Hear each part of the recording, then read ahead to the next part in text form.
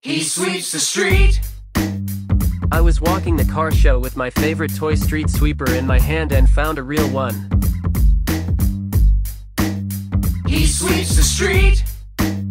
Cleans up debris. He helps us keep our roads and parking lots so clean. He sweeps the street.